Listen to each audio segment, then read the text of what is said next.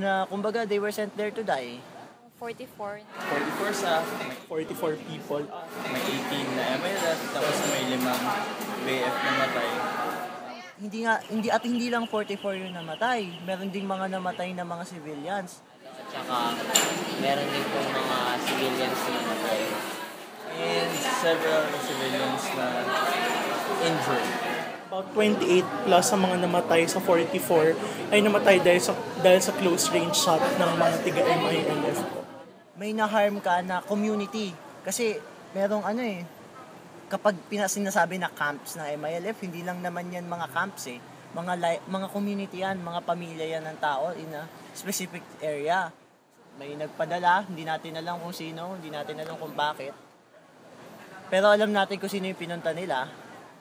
Malaysian terrorist na si Marwan, Terrorist named Marwan. Ang international terrorist na si Marwan si Basit Usman, yung JF na rockmate.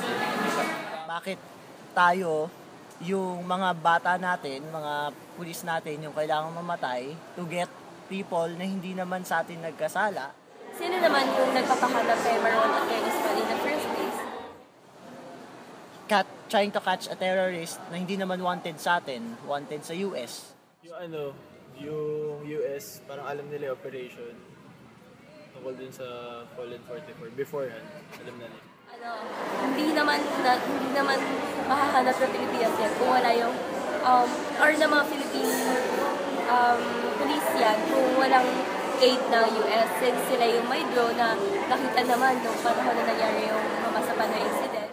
Bakit hindi nakipag-coordinate dun sa mga sectors na maapektuhan knowing na may peace process na involved. May na-harm na peace process due to the lack of coordination and commitment with the, from the part of the government.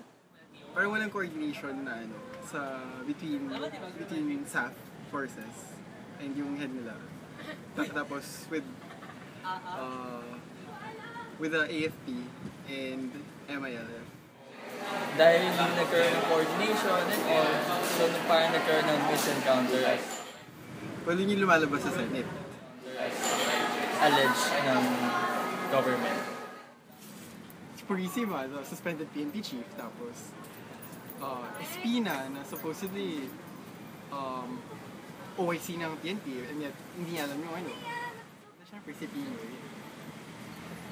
Well, sa tingin ko, si Aquino naman ang punot dulo nito, kaya dapat na siyang bumaba sa posisyon bilang presidente.